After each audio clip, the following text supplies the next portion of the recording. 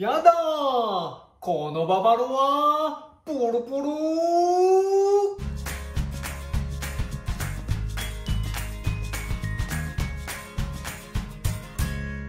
はいみっちゃんです。いつもありがとうございます。今日は豆腐の抹茶ババロアを紹介します。お豆腐と豆乳を寒天で固めくず粉を使うことで滑らかでリッチ感のあるババロアに仕上がりました。ぜひ作ってみてください。黒蜜との相性も抜群ですよ。それではクッキングスタート。